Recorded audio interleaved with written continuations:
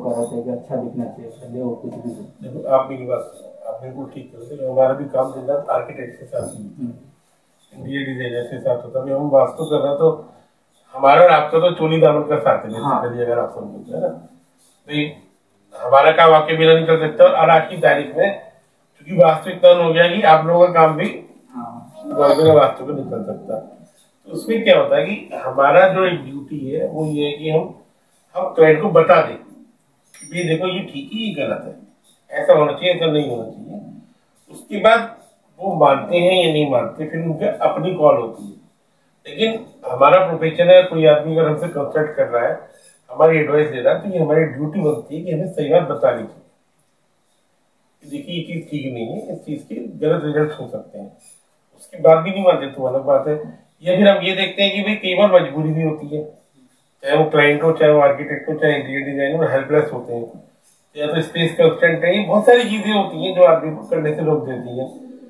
तो फिर हमें अगर ऐसा लगता है कि भाई यहाँ पे कोई भी कुछ नहीं कर पाएगा, इनकी मजबूरी हम इतने कितने बता दी, कर नहीं पाएँगे तो फिर हम उसका एक सोल्यूशन निकालते हुए चलते हैं। कि वो कम से कम उसका जो बैड इफ़ेक्ट है, वो कम हो जाए। ये भी करते हुए चलते इस तरीके से भी होता है अगर वो ही प्रॉब्लम तो ये इसका तरीका ही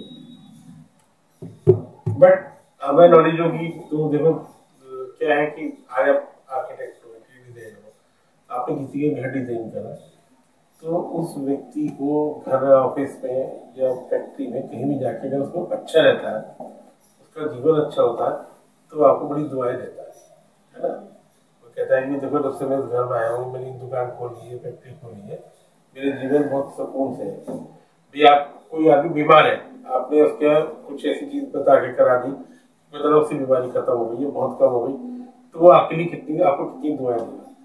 तो क्या होता है कि वो कहीं ना कहीं आपको फिर इसके लिए अप्रिशिएट भी करता है। है ना? तो ये ज़रूरी होता है कि हमें कोशिश ये करनी चाहिए कि अपनी तरफ़ से किसी का भला ही होना चाहिए। बुरा नहीं होना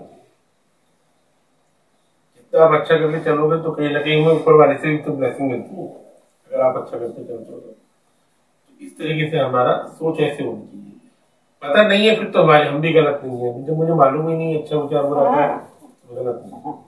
हम्म? लेकिन अगर पता है तब तो मेरी ज़िम्मेदारी बनती है कि मैं आपको गाइड करूँ सही से। ये होता है। कमर्शियल ऑफिसेस में जो डेस्क होता है मतलब एम्प्लॉयज़ का उसकी फेसिंग्स कैसे होने चाहिए मतलब? देखिए कोशिश ये करनी चाहिए जो हम कमर्शियल ऑफ़िस में अगर हम डिज़ाइनिंग कर रहे हैं तो हमें एम्प्लॉयज़ को ईस्ट में या नॉर्थ में उठाना चाहिए बेसिकली नॉर्थ मतलब ईस्ट या नॉर्थ फेसिंग है हाँ मतलब जो भी एम्प्लॉयज़ काम करें उनका फेस टुवर्ड्स ईस्ट में या नॉर्थ में।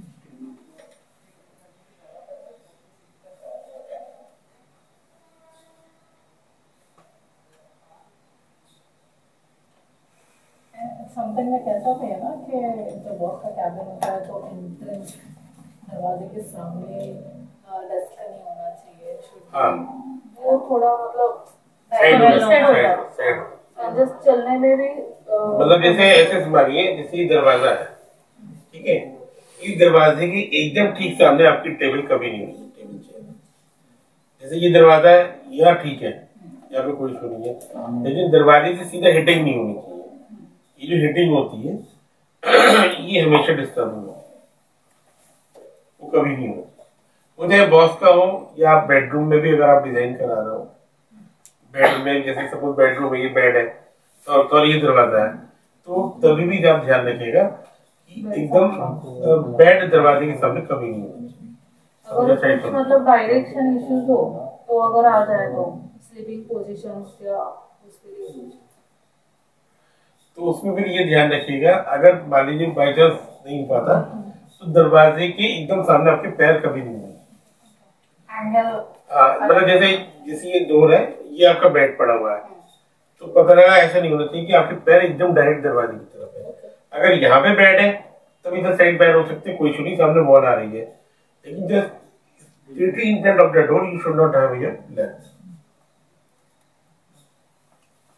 जो वॉल पेंटिंग जो लगता है ना फ्रेम में वो किस टाइप के होने